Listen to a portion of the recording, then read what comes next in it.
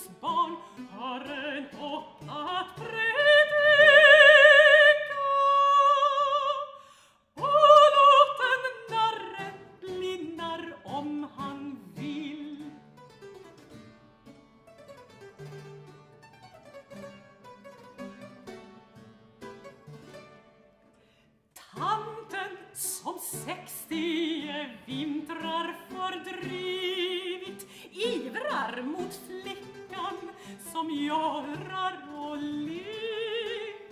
Klagar hur flyktigt vår tid tidevarv blivit sörjer de seder som äro ej mer. Fåfängt mot dårskapens välde att skrika vishet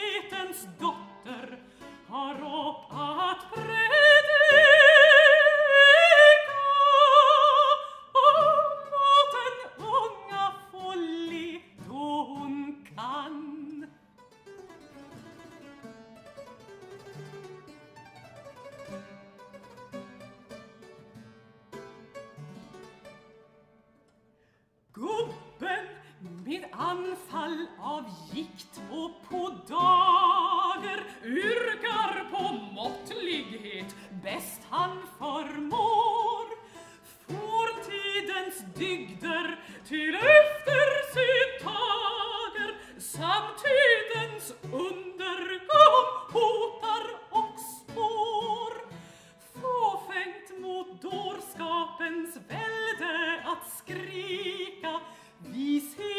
nessun,